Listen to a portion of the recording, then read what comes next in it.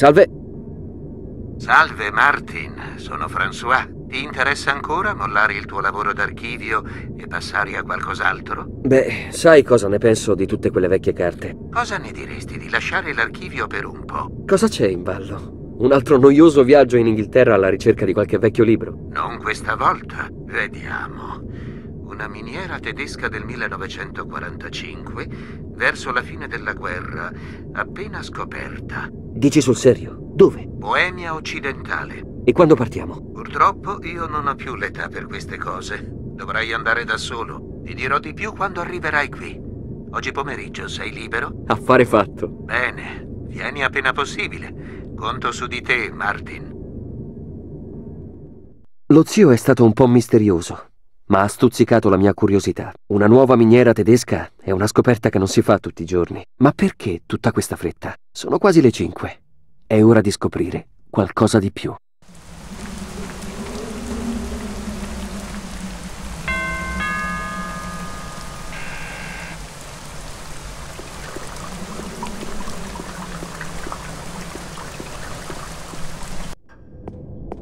Sono contento che tu non abbia tardato. Le cose sono precipitate.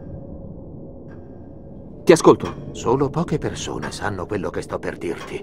E deve restare così. Hai mai sentito parlare del progetto Nibiru che i tedeschi hanno avviato durante la guerra? Nibiru? Il dodicesimo pianeta? Cosa ha a che fare con i tedeschi? Sì, il dodicesimo pianeta. I tedeschi avrebbero dato qualsiasi cosa per una tecnologia che li aiutasse a uscire dalla situazione in cui si trovavano. Immagina cosa avrebbe significato per loro la tecnologia di una razza molto evoluta. Ma il dodicesimo pianeta è solo un mito. Ne sei sicuro? Nemmeno io ci credevo. Ma ora non ha importanza. Ciò che conta è che ci credessero i tedeschi. Ma soprattutto, nel corso della mia vita ho raccolto molti dati e credo non fossero distanti dal loro obiettivo. Non so bene a che punto fossero né cosa avessero scoperto esattamente, ma sono certo che Nibiru non sia solo un mito. Ah sì? Continua. Ora non ho il tempo di parlarti di tutte le mie scoperte, ma Nibiru esiste. Ne sono certo. Ora però mettiamoci al lavoro. L'informazione sulla scoperta arriva da un mio contatto a Praga. È già tutto organizzato. Tu andrai a Praga e la incontrerai sul Ponte Carlo. Cosa? Questa sera incontrarla? Il tuo contatto è una donna? Esatto. Dobbiamo agire in fretta. Il permesso per accedere al sito della scoperta e tutte le informazioni disponibili ti saranno forniti sul posto. Quanta fretta! E comunque cosa ti aspetti che trovi? Non lo so. Verso la fine della guerra i tedeschi stavano nascondendo tutte le cose di valore perché gli alleati non se ne impadronissero. I risultati della loro ricerca archeologica non sono mai stati scoperti e non abbiamo indizi su dove cercarli. Ma alla fine di aprile del 1945 la Boemia era di fatto l'unico territorio ancora controllato dalla Germania. Come riconoscerò quella donna? Il Ponte Carlo di giorno è molto affollato ma tu arriverai di sera tardi, quando è quasi deserto. E lei ha già una tua fotografia. È tutto organizzato. Lei si chiama Barbara. Il biglietto aereo è nella busta di fronte a te. Martin, questo potrebbe essere un grande... Va bene, ti chiamerò dopo essere arrivato all'appuntamento. Buona fortuna. Ho lasciato la villa con poche informazioni in più rispetto a prima. Mio zio però sembra sperare molto in tutta questa faccenda. Andrò quindi a cercare le risposte nel cuore dell'Europa. Sono arrivato a Praga di sera tardi. Un taxi mi ha portato in centro e il Ponte Carlo era dietro l'angolo. Sono un po' in ritardo, ma spero che Barbara abbia avuto pazienza e mi stia ancora aspettando.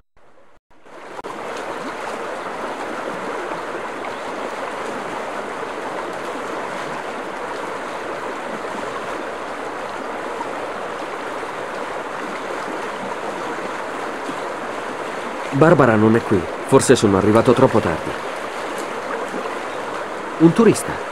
Sembra godersi lo scenario notturno.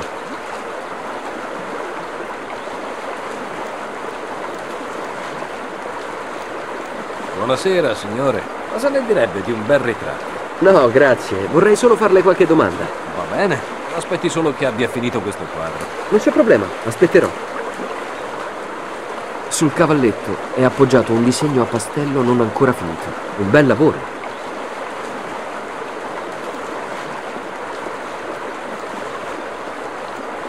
Statua di San Tommaso. La statua è stata restaurata nel 1957. Il piedistallo è un massiccio blocco di pietra.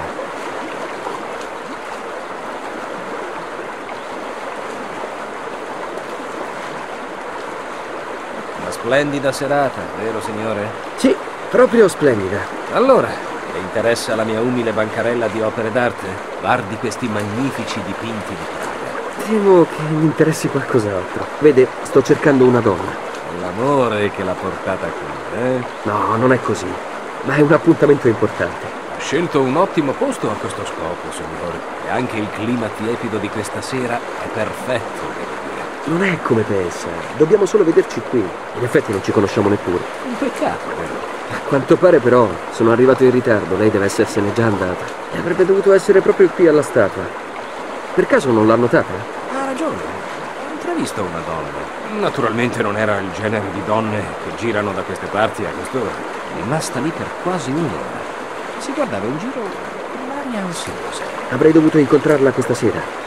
Può dirmi qualcosa di più? Forse.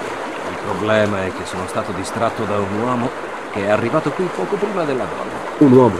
Un turista. O forse soltanto uno che faceva una passeggiata. Non sono sicuro.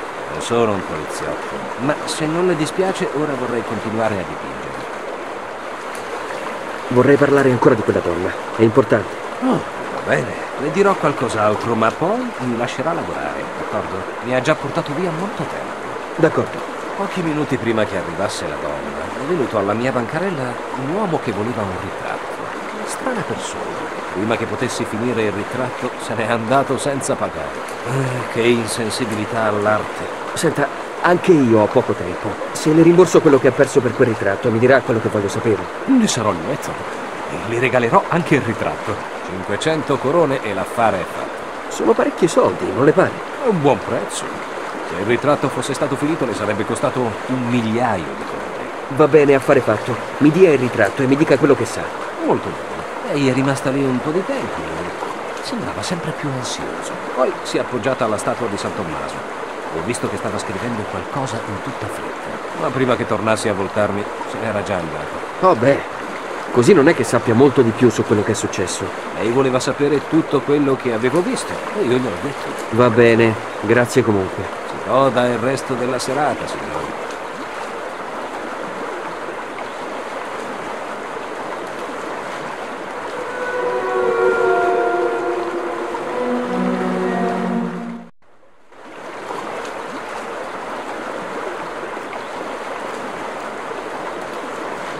Gli darò un'occhiata più da vicino. C'è un pezzetto di carta infilato sotto la targhetta.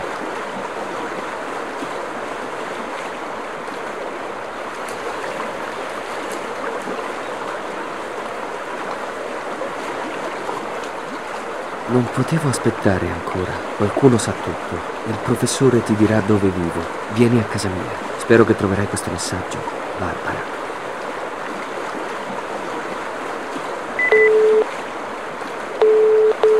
Professore, Sì, Martin, cosa c'è? sono appena arrivato all'appuntamento, ma Barbara non c'è. Un pittore l'ha vista circa un'ora fa. Deve essersene già andata. Una brutta notizia. Devi vederla oggi, non abbiamo tempo da perdere. C'è un'altra cosa, professore. Il pittore mi ha detto che sembrava ansiosa, credo che la stessero seguendo. Se sai qualcosa che io non so, è meglio che me lo dici ora. Martin, tu sai tutto quello che ti posso dire al momento. Devi fidarti di me. Com'è possibile che qualcuno la seguisse? Chi poteva sapere che dovevamo vederci? Non ne ho idea. Spero sia un falso allarme. Forse Barbara si è solo fatta prendere dal panico. Credo sia meglio che tu vada direttamente a casa sua. È il solo modo per scoprire cos'è successo. Vive in via Cecoppi 52. Il suo nome completo è Barbara Tanska. Sbrigati. Va bene, ci vado subito. Ho chiamato un taxi e sono andato a casa di Barbara. Spero che sia in casa.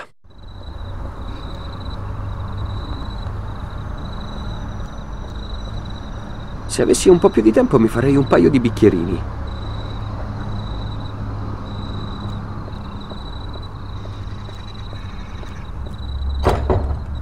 Chiuso.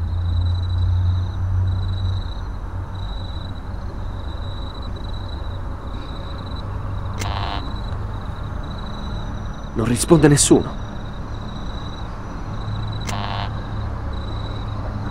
Nessuna risposta. Dove potrebbe essere? Proverò un altro campanello per entrare nell'edificio. Speriamo che qualcuno mi apra la porta a quest'ora.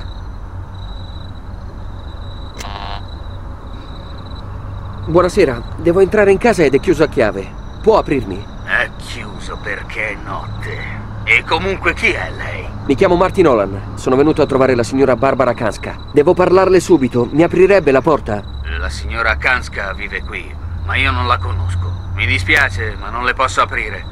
Torni quando la signora è in casa.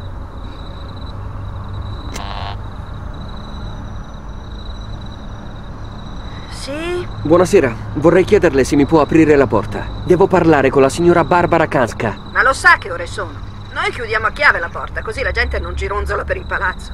Se Barbara la conosce, suoni il suo campanello. Ma lei non risponde, maledizione.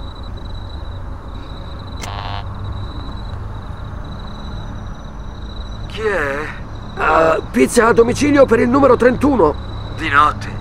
Mi prende per i fondelli. Voglio dormire, per cui sarà meglio che mi lasci in pace. E comunque qui non c'è nessun appartamento numero 31. Il trucco della pizza a domicilio non ha funzionato.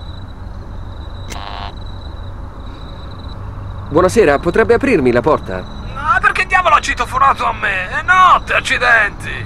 Mi dispiace, sono venuto a trovare la signora Casca. Mi farebbe entrare. Pronto? Maledizione.